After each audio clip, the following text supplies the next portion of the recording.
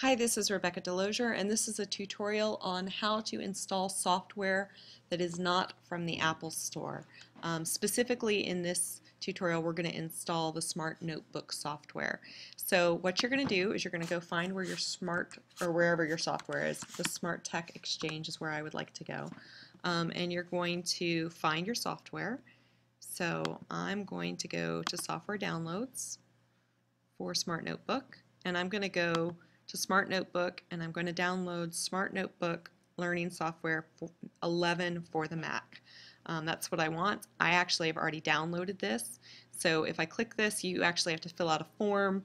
You click download um, and uh, yes, and then you fill that out and it goes ahead and it downloads it to your download folder, which is right here. And if you look, I have that right here. Now, if I click on that, it will go ahead and open up um, a drive here on the right hand side of the screen and that's actually what I want for right now. So I'm going to minimize this window. Um, and what I'm going to do is the drive is opened up and you see it says Educational Software Installer 2012 MPKG, and whatever that means is irrelevant to you. But if you double click on that, you're going to get an error message, and it says Education Software Installer can't be opened because it's from an unidentified developer. And basically what this means is your security preferences default to only allow the installation of apps that are from the Mac Apple Store. Um, and we need to go ahead and turn that off so you can install the Smart Notebook software. So the way that you do that is you go up to the Apple and that's kind of like your start menu. And you're going to click system preferences. And then we want security and privacy. So I'm double clicking on security and privacy.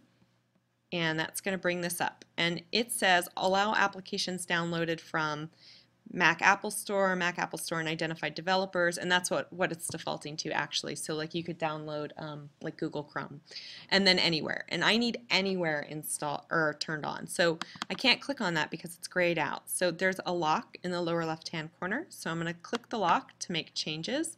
It's going to ask you for your password. Um, so no one else can do this except whoever's logged into the machine. And you're just going to click anywhere and then it gives you a warning. It says choosing this will go ahead and mean that you know you have to know the provider. So I'm going to allow from anywhere because I trust Smart Tech. Um, and that is it. I will actually go ahead and lock this back up just so no one else can change my security settings. And I'll close this and then I'll go back.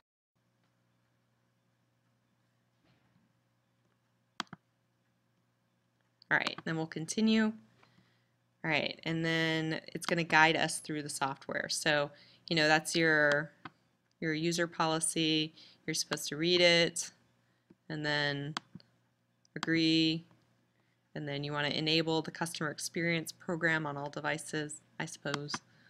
Um, and I am going to install Smart Notebook and I'm not going to install the Smart Response System. I don't want that.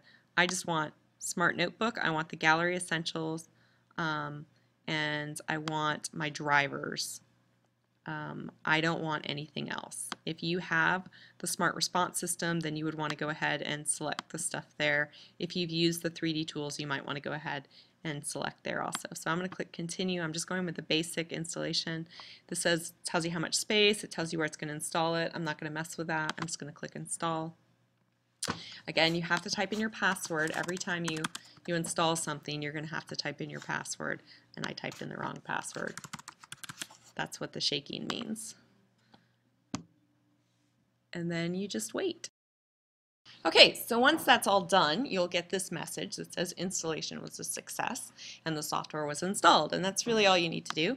Um, and then what you should be able to do is go to your Launchpad and there it is, Smart Notebook and your board tools and your Smart Ink and all that. And you'll have to play with that a little bit because it is a little different um, using the Smart Notebook software um, just because it's a newer version of the software than most of us are used to.